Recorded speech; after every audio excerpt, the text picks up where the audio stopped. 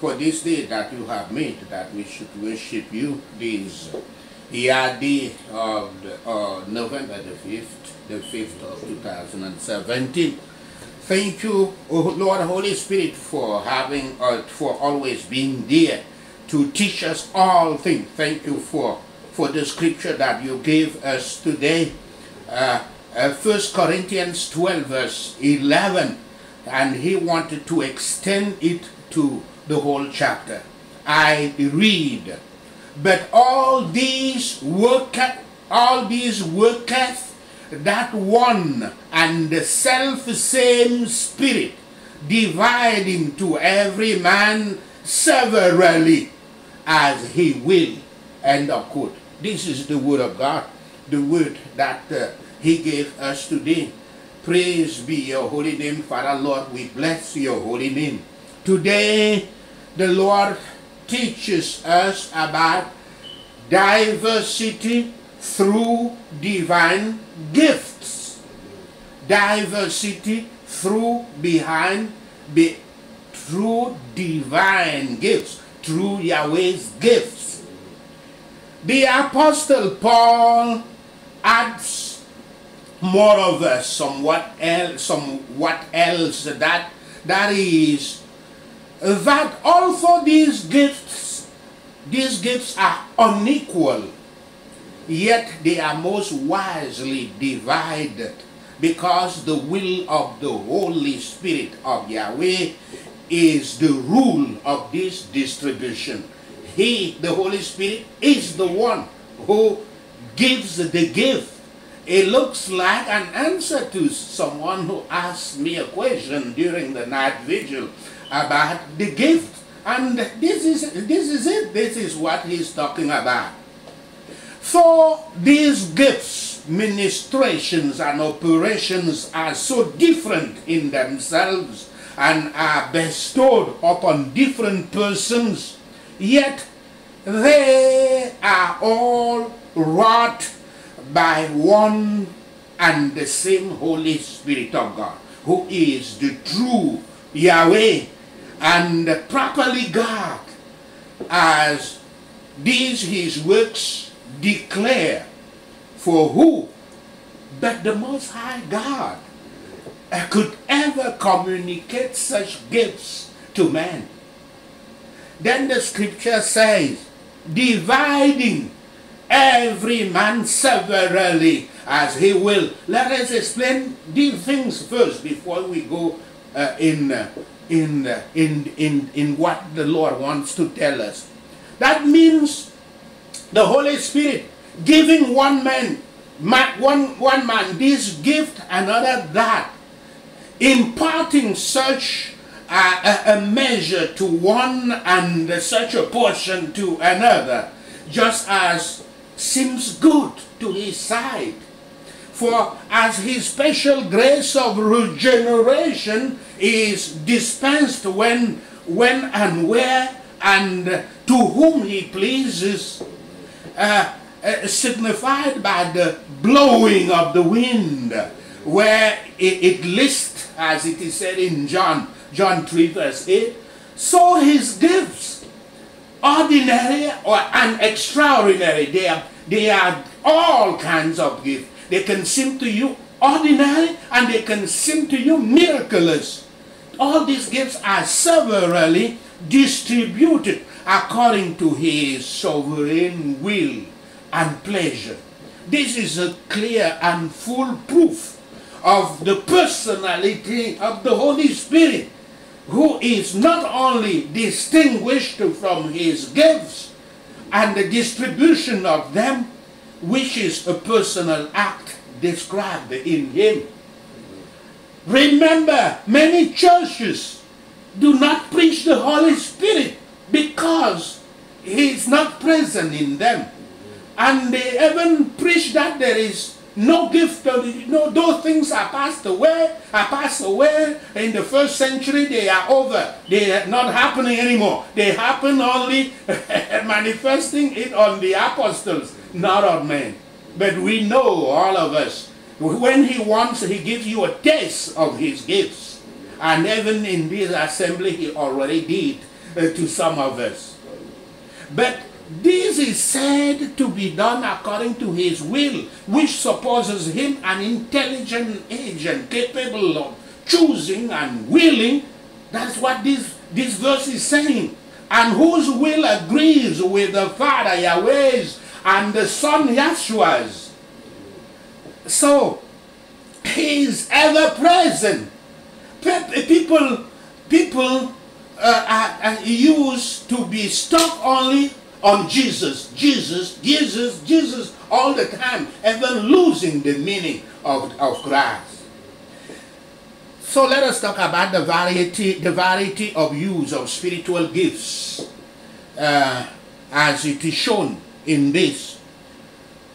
The Greek word translated gifts, gifts is charismata, charismata. The source of the word charismatic, charismatic. The word could also be interpreted as gifts, gifts of grace. Paul says that Christ's church is to be a charismatic, Holy Spirit filled church. That is the church of Christ. A church that is void of Holy Spirit works and gifts is not, not a church of Christ. When you see a cold church without any, any signs of the gifts of the Holy Spirit, of the works of the Holy Spirit, that is not a church of Christ. Many of the Corinthians came from pagan backgrounds. Uh, but the idols they once worshipped were mute and offered no help or direction to them. The Holy Spirit of Yahweh, in contrast, will would provide them with knowledge and spiritual substance. In verses 8 to 11 of these uh, 1 Corinthians 12, the, there is a list there of the spiritual gifts. But this list of gifts, uh, uh, uh, which is also completed in verses 28 to 30, is not exhaustive because God has no limit. He can give any types of gifts that he wants. So spiritual gifts, uh, uh, uh, Paul also provides another, another list in Romans 12 verses 6 to 8 and Ephesians 4 verses 11 to 13. Spiritual gifts are extraordinary powers granted. So, so extraordinary means those are not the power that you can claim that you were born with them. they just happen one day. And because he doesn't want, he's a jealous God. He doesn't want to be confused with anything. When he gives you a gift, that's why the gifts are not something you suppose. Gifts, he will show you that he gives you the gifts and you will know that. And you will see the difference from the past that you didn't have those kind of things. So, and not only in the first century, as, as some churches pretend, but until this day, those gifts he keeps giving to convince unbelievers and to also spread the gospel.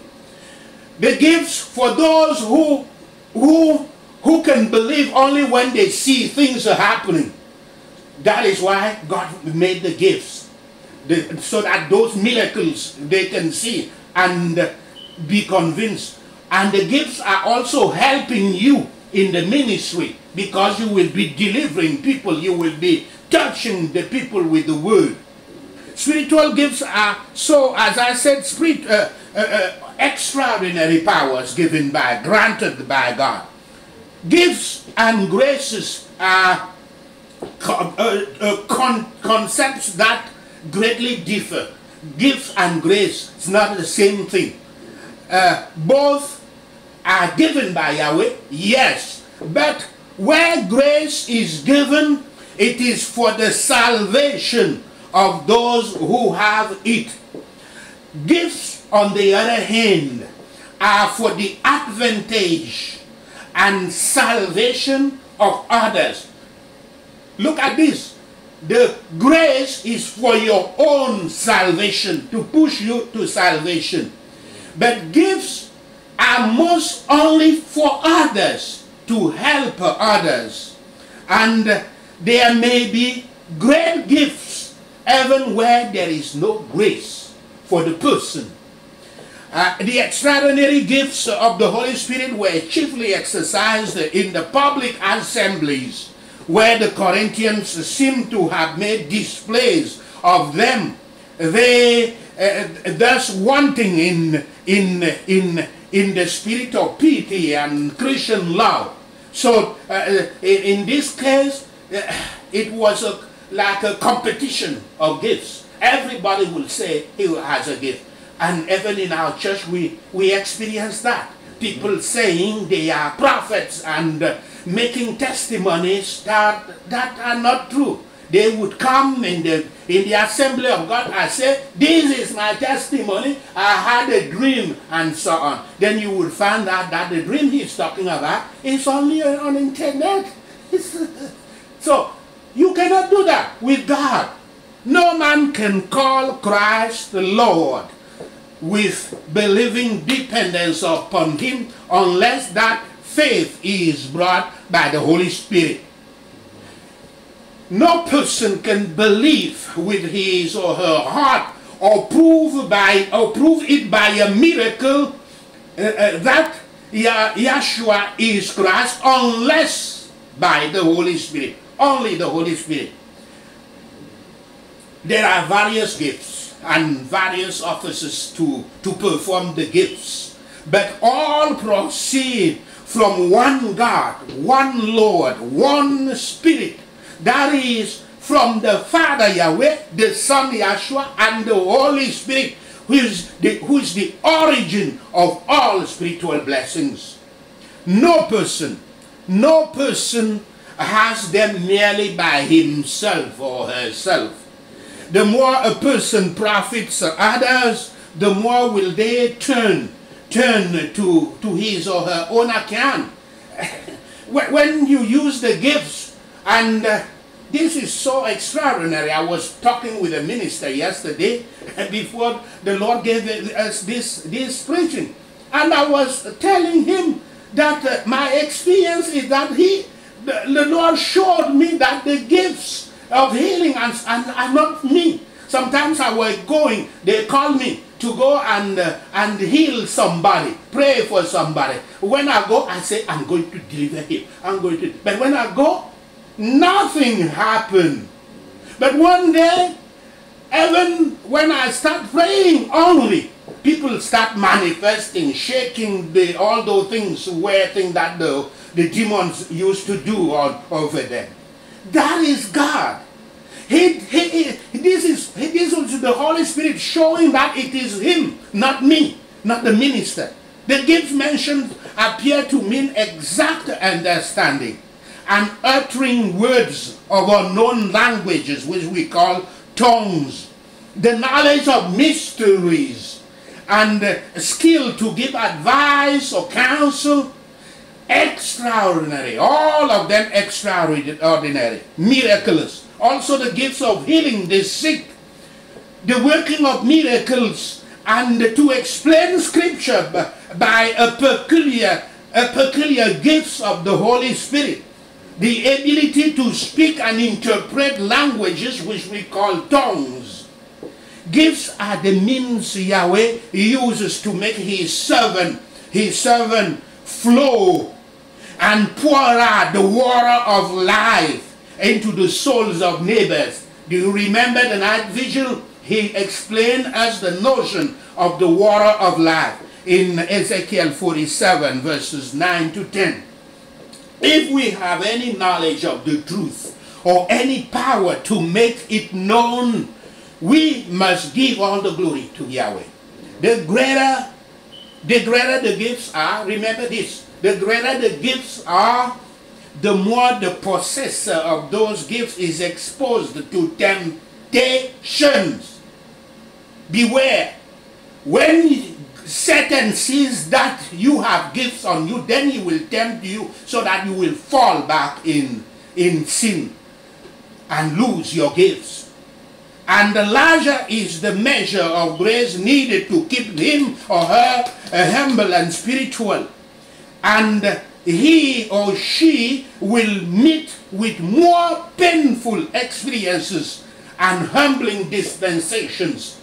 The Holy Spirit is going to force you to be humble. We have little cause to glory in any gifts bestowed upon us and to despise those who do not have them. The second legs, as in the human body, every member has its place and use in Christ's church. Know that. There is nobody, as I, I will uh, show, Paul emphasizes the importance of unity in the body of Christ. The body of Christ is the church of Christ. The church, so comprised of many members, is intended to be a single unit, an organic whole, regardless of racial or religious backgrounds, Jews and or Greeks, for the case of Corinth, Jews and Greeks, or social standing, slaves and free men. Unity is not the same as uniform. There is difference between unity and uniformity. Various groups within Christianity and even within the, denominations, because there are denominations today, will have different opinions that should be respected as long as all agree on the great orthodox spiritual truth that all Christ followers share because they are the words of Yeshua. The something that should never, should never be shaken is the word of God. So they can have their own opinions, but the word of God has to stay the same. No physical body can function as all seeing and all hearing and all smelling. Not all the organs have those capacities. So why should the church expect to function with a focus on only one spiritual gift? And we have that experience in our ministry uh, because the, the pastor has the gifts of, uh, of healing and prophecy. Everybody would claim that uh, uh me also, God speaks to me. Uh, uh, so and we, we, we end up in false testimonies, things like that, just to prove that uh, me too, I, am a, I, am a prophet. Those are the things that you we should be, and that is what what creates uh, conflicts in churches because everyone wants to be a pastor and to be a pastor everyone wants to claim that he has the same gifts as that pastor so that he can replace him that's what, what happens. You will always oh, hear all time that there are fights in churches. It's just because of that. People in a church are not all the same. Their gifts will differ according to Yahweh's will. Believers should learn to accept one another because of that truth. They are called to celebrate their diversity within the unity of the church which provides a place of belonging for a wide range of followers of Yeshua the Messiah. The various members of the holy body of Christ, which is the earthly kingdom of Yahweh, the church of Christ, are not just to tolerate one another. Remember, we, when I say tolerate, we are not talking here of tolerating sin. We are talking of tolerating in the service of God so that all of us we can serve to together. As with the parts of the human body, uh, mutual interdependence is critical to proper operation. The effectiveness, health, and vitality of the church are dependent on how well its various members function together as a whole. No individual has the right to say to uh, the other one, I don't need you. And whether or not ch church members realize it, each person is indispensable for the collective effectiveness of the church and of the world. Indeed, unity and interdependence create a richness and, and texture for, for the collective witness of the church. Christ and his church form one body as head and members do for the human body. Christ followers become members of this body by baptism, both with water and with the Holy Spirit and fire. Baptism of water should be church officials church official recognition of the convert's brokenness. Brokenness, I insist. And, and uh, this referring to Matthew 16 verse 24, Isaiah 40 verses 3 to 5. When Christ said, if you want to follow me, deny yourself, carry your cross, then you can follow me. Baptism of the Holy Spirit is by the grace of Yahweh and his spirit will bestow the gift necessary to fulfill the servant's calling. The outward rite of, uh, of that baptism is of divine institution. It is, it is a sign of the new birth and it's called therefore the washing of regeneration, baptism of the Holy Spirit. What we do by the, the, the, the pastor the, the, the, the, anointed pastor laying hands on you and uh, uh, uh, telling you that receive the Holy Spirit, this is a ritual, but only the Holy Spirit is doing everything. The scripture says, the apostle wrote, I quote, He saved us not because of righteous things we had done, but because of His mercy. He saved us through the washing of rebirth and renewal by the Holy Spirit. End of quote quoting Titus 3 verse 5. It is by the Holy Spirit, only by the renewing of the Holy Ghost, that we are made members of the body of Christ. Christ followers, Christians, as we call ourselves. And by communion with Christ, as the Lord's Supper, we are strengthened, not by drink of the wine, but by drinking into one Holy Spirit, the water of life, the water of life, as we talked about uh, uh, during the night vigil.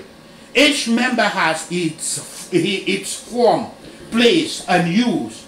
The meanest make a part of the body. There must be a distinction of members, however, in the body.